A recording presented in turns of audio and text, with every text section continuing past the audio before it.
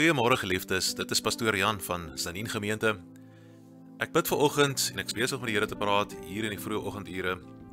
En my Bybel lê langs my en ek vat die Bybel en ek maak die woord van die Here oop en ek druk my vinger. En terwyl ek my vinger so druk, toe kyk ek die volgende skrif in Sagaria 4 vanaf vers 10. En kom ons lees dit saam. Sagaria 4 vers 10. Want wie verag die dag van klein dinge terwyl daar die sewe, die oë van die Here wat die ganse aarde deurloop met blydskap die skietlood aanskou in die hand van Serubabel. Weet terwyl ek so na dit kyk, besef ek dat die skietlood is nou nie 'n verskriklike groot instrument en 'n magtige instrument nie, maar tog is dit die skietlood as 'n mens dit uit die boot uit skiet wat die stabiliteit bring wanneer 'n boot in 'n hawe inkom. Ek wil vanmôre met u praat. Ons verag baie keer daardie klein dinge. Ons dink altyd dis daai groot magtige boot wat in daardie hawe inkom, maar ons vergeet dat daar 'n klein ou toutjie was wat gegooi was na die kant toe soos 'n skietlood en hy het skielik stabiliteit gebring in die boot dat daai boot homself nie vernietig hier in die hawe nie. En terwyl ek besig om so te bid, begin die Heilige Gees met my te praat en vanoggend hoor ek duidelik sê die stem van die Here vir my. Daar is baie goed in jou lewe wat lyk of dit klein is. Daar's baie goed in jou lewe wat jy voel wat nie uitwerk nie.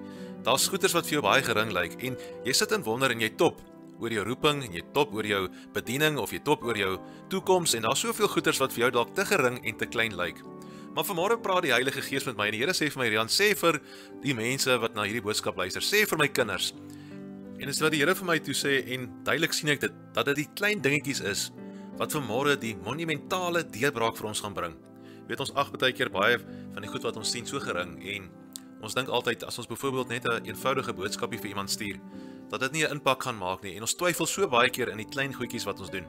Jy weet ons verwag altyd dit moet die grootste en die diepste woord wees. Dit moet 'n aardbewing wees. Ons ons ons verwag altyd hierdie groot dinge wanneer dit kom by die Here.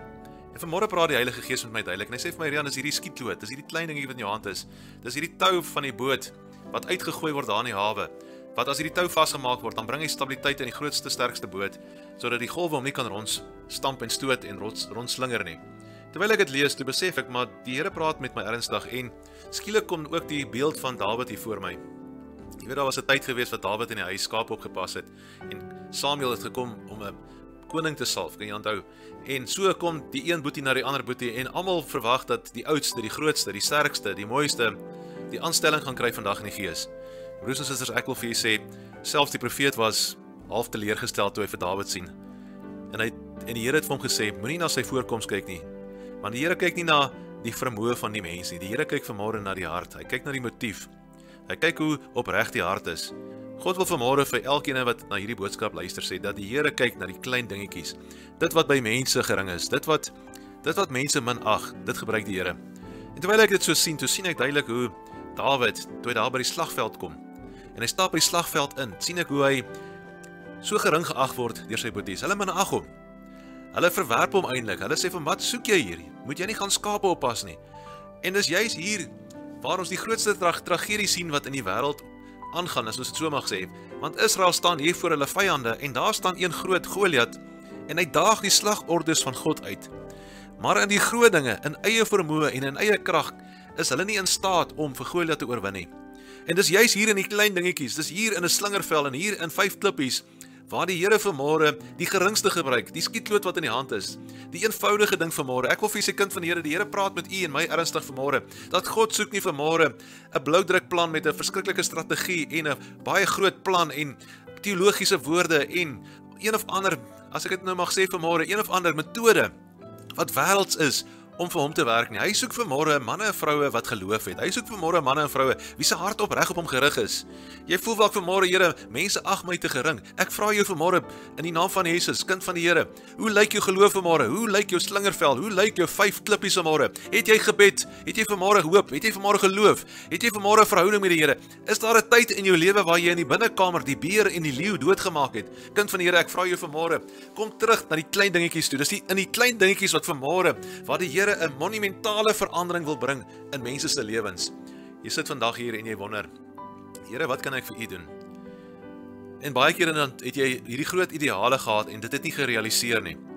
En vanmôre wil ek vir u sê kind van die Here, God praat met u en met my vanmôre. Jy weet ons kom baie keer in die kerk ook en dan sien ons byvoorbeeld omstandighede of ons sien iets gebeur en dan voel 'n mens, "Ag, dis asof daar net nie daai groot deurbraak is nie." Jy weet, dis nie daai vreeslike groot herlewing waarvan almal praat nie. Ons kan sien Here is besig om te werk, ons kan sien Here verander mense.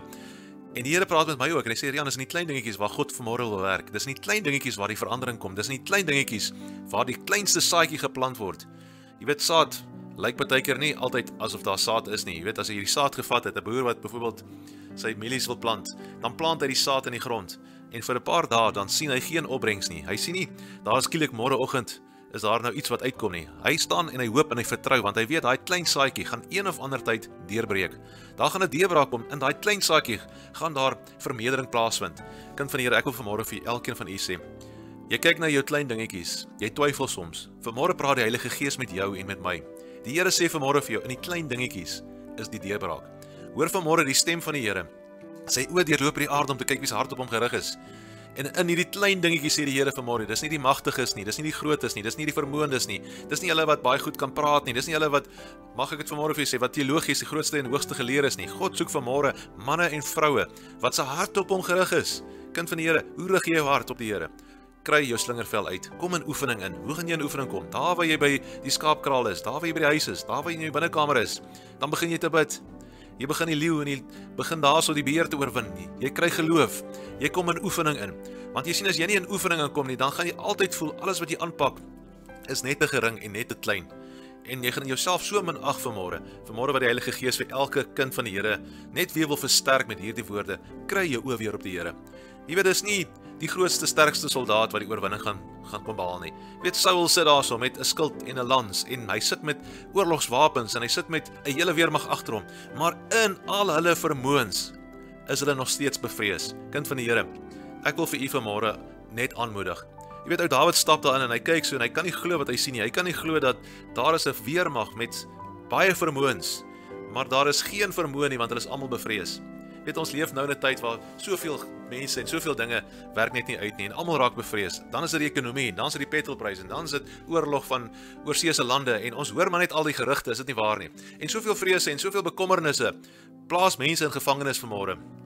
Ek wil vir jou uit my hart uit sê dat die kerke en die wêreld daar buite en maakie saak ek wys nie na spesifieke mense nie. Almal sit in vrees, almal sit met bekommernis, almal is bekommerd oor die omstandighede, almal is bekommerd oor die ekonomie, almal is bekommerd oor wat kan gebeur in in in ons dorp. Is dit nie waar nie? En ja, so begin 'n mens met mense te praat en skielik hoor jy hierdie en kan ek dit maar sê hierdie gerugte. Daar's 'n gerug van het jy gehoor daar's ekonomiese omstandighede. Het jy gehoor daardie boer sukkel? Het jy gehoor daardie ene het nou weer 'n probleem? Kind van die Here, ons is die Dawids in hierdie dorp. Ek sê vir elke ene wat in Senien bly in ons omgewing, hoor die woord van die Here. Ek spreek dit oor jou uit. Ons gaan die oorwinning vat in die naam van Jesus. Elke ekonomiese Goliat wat daar is, ons verbreek sy mag nou in die naam van Jesus. Ons gooi vanmôre 'n klip in die geloof. Ons breek die mag van die vyand en ons gaan nie laat Goliat ons kom oorwin nie. Jy sit sit vanmôre Jesus en jy wonder en jy top en jy sê Here, dinge dinge werk nie vir my uit nie. Ek kom na u toe terug vanmôre. So spreek die Heilige Gees. Dis in die klein dinge wat die Here vanmôre die deurbraak gaan bring. Dit wat in jou hand is. Jy sê maar ek is nie in staat nie. Ek het nie 'n plan nie. God soek nie vanmôre 'n bonatuurlike plan nie. God soek vanmôre manne en vroue wie se harte net weer op hom gerig is. Elkeen wat in Zanien bly, elkeen wat ons gemeente is, elkeen ons gemeenskap. Kom ons rig ons harte op die Here. Soek die Here. Daar waar jy staan. Jy hoef nie by ons kerk te kom aansluit nie. Sê net daar in jou hart, Here, ek rig vandag weer my hart op die Here. Ek rig my aandag op die Here. Here, ek plaas my oë terug op die Here. Ek gaan nie kyk na Goliat nie. Ek gaan nie kyk na my omstandighede vanmôre nie. Ek gaan die geringe goeders wat in my lewe is nie nietig ag nie. Daar's miskien dalk goed wat nou met jou gebeur wat vreeslike omstandighede is. Ek wil vanmôre geloof in jou hart insaai, 'n klein mosterdsaadjie. Hoor vanmôre die woord van die Here. Dit wat vir jou so gering lyk, dit wat nietig is, dit wat onmoontlik lyk, wil God vanmôre gebruik om 'n deurbraak te bring. Ek spreek dit oor die omstandighede. God bring deurbraak. As jy 'n plaasboer is in hierdie omgewing, God bring vir jou deurbraak. As jy vanmôre 'n besigheid het in hierdie omgewing, God bring vir jou deurbraak. As jy vanmôre voel maar jy's moedeloos en moeg, God bring vir jou deurbraak. Moenie kyk na die nietige dinge nie. Jy weet toe daardie klompie disippels by Jesus staan en skielik staan daar 5000 skares en daar's groot hoeveelheid mense wat om hulle staan. En die Here sê gee vir hulle brood kyk die disippels om met die grootste vraagteken in hulle gesig dan sê, maar dis onmoontlik. Ekonomies is dit nie moontlik om vir hierdie 5000 mense brood te gee nie. Ekonomies is dit nie prakties nie, kind van die Here. En daar kom 'n klein seentjie wat gering is, wat nietig is, met twee visse en vyf broodjies. En dis hoekom die woord van die Here sê, moenie die klein dingetjies verag nie. Vanmôre wil ek vir jou sê dit wat nietig is, dit wat nie moontlik is nie, dit wat by mense mense gering geag word, kan God vanmôre gebruik om vermeerdering te bring. Jy sit vanmôre en jy top en jy weet nie wat moet gebeur nie en jy wonder wat gaan met jou besigheid word of wat gaan met jou plaas word of jy wonder dalk miskien wat se omstandighede jy vanmôre in is. Maak nie saak wat dit is nie. Is dit dalk miskien werkloosheid? Wat ook al jou probleem is. Jy sit in top en jy bekommer jou mors oor hierdie klein dingetjies. So spreek die Heilige Gees vanmôre dat God kan vermeerdering bring. Vertrou die Here weer. Vertrou God vir sy krag. As jy dit vanmôre net in die gees kan sien dat God breek vanmôre weer die brood. Hy bring weer vermeerdering oor die visse. In die naam van Jesus kom daar vanmôre weer vermeerdering in omstandighede. Kinders van die Here, kom ons kry ons fokus terug op die Here. Maar ek wil jou vanmôre aanmoedig, moenie fokus verloor nie. Toe ek vanmôre opstaan en die Here begin my te praat, sê die Here vir my duidelik, Rian, sê vir Zanin dat die geringe dinge, die klein dingetjies, gaan 'n monumentale verandering bring in ons omgewing as ons op hom gaan begin vertrou. Ek wil jou aanmoedig, kind van die Here. Elke Christen gelowige, kry jou fokus terug op die Here. Kry geloof terug. Begin weer om te bid. Tel jou hoop op. Tel jou ken vanmôre op. Weet vanmôre dat die Here is in beheer. Weet vanmôre dat die Here sy oë deurloop hierdie aarde om te kyk of jou hart op hom gerig is. En dan kom rig jy jou hart op die Here en soek die Here saam met ons. Ons bid vir Zanine, ons bid vir ons Zanine boere, ons bid vir ons Zanine besighede en elkeen wat in hierdie omgewing is, bid ons voor. En as jy dan nou voel vanmôre, jy kan nie. Kom na ons toe, ons sal vir jou bid. Skakel ons gerus op ons kantoorure en ek wil vir u sê ons gaan vir u intree. Mag die Here u seën. 'n Geseënde dag aan elkeen.